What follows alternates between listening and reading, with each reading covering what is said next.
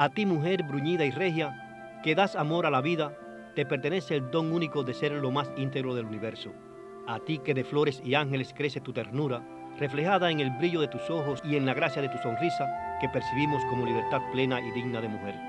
Eres el sostén eterno de la vida, que fecundas en la familia como el signo de perpetuar la existencia humana. De ti tenemos la mejor dádiva en la vida, por ello añoramos tus besos de pasión en la frente o la mejilla. Nunca pierdes la esencia y el encanto. Eternamente te damos gracias, mujer que infinita cabalgas en la historia de tu pueblo. Eres la felicidad sobre la tierra, que tierna aportas con amor de madre, esposa, amiga, compañera, patriota, ama de casa, como testimonio indeble de mujer. Eternamente gracias, porque hoy siempre te yergues infinita con espíritu de hacendosa. Es la dicha de tenerte por igual, única por tus cualidades y virtudes, que como el sol y la luna dan calor y luz a la vida.